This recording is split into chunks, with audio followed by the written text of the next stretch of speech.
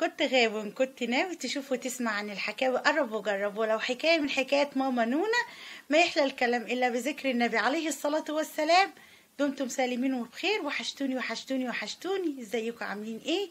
إيه النهاردة إحنا بنكملوا حلقات إيه السيرة النبوية سيرة النبي عليه أفضل الصلاة والسلام. النهاردة إحنا داخلين على الحلقة الرابعة. الحلقة الرابعة دي بتحكي إيه؟ بتحكي لما سيدنا محمد رجع الضياء بيته تاني رجع محمد رجع لمامته خلاص بعد ما كان عايش مع حليمة السعدية في البادية. سيدنا محمد لما رجع لمامته حليمة كانت بتحبه جدا بس لما خاف خافت عليه لما عرفت ان لما حست إن في حد عاوز يأذيه ما تعرفش إنه ده ملاك. آه، سيدنا محمد فضل عايش مع مامته في مكة. مكة بلد جميلة جدا وفيها الكعبة. محمد كبر وبقى عنده ست سنين. وبعد مامة سيدنا محمد قالت له إحنا هنسافر وهنروح بلد تانية. بلد بعيدة. جميلة قوي. اسمها إيه؟ اسمها المدينة. هنسافر عشان نشوف كل قرايبنا اللي هناك. إخوات مامته كلهم كانوا عايشين في المدينة. فسيدنا محمد بقى فرحان قوي. هو بقى عنده ست سنين إنه هيشوف قرايبه اللي عايشين في المدينة. سافروا مع بعض ووصلوا المدينة. قرايب سيدنا محمد كانوا فرحانين بيه قوي وكانوا بيحبوه قوي. بعدين مامته قالت خلاص لازم نرجع بيتنا في مكة تاني. سافروا مكان تاني. هنروحوا مكة رجع بيتنا في مكة تاني. وسافروا مكة. بس وهم في الطريق حصلت حاجة صعبة. مامته بقت عيانة وتعبت جدا جدا. وبعدين ماتت. سيدنا محمد كان بيحب مامته قوي ودلوقتي عنده ست سنين وبقى ما عندوش أب ولا أم. أكيد زعل قوي وحس إنه وحيد.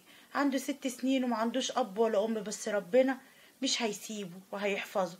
المكان اللي مامته ماتت فيه اسمه اسمه الإواء كان ساعتها معاه ساعتها معاه خادمة اسمها أم أيمن أم أيمن اهتمت بيه لغاية لما وصلوا مكة وفي مكة كان مستنيه جده جده عبد المطلب وقال خلاص أنا هرعاه وههتم بيه. سيدنا محمد وهو صغير كان طفل مهذب وأخلاقه جميلة وكل الناس بتحبه قوي وجد عبد المطلب كان كمان كان بيحبه قوي عارفين مرة كانوا حاطين عند الكعبة فرش اللي هي السجاد جميل لجده عبد المطلب عشان يقعد عليه.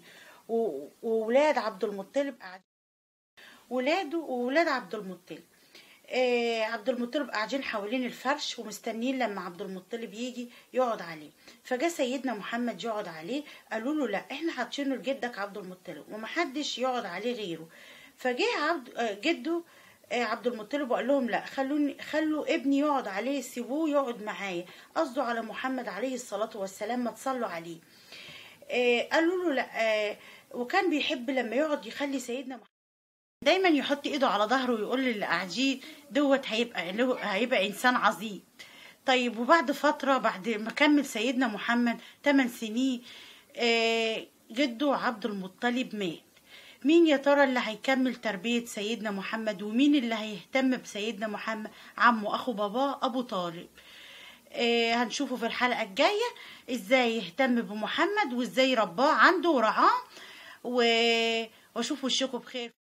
الحلقة الجاية هنكمل مع بعض. ما تصلوا على سيدنا محمد عليه أفضل الصلاة والسلام.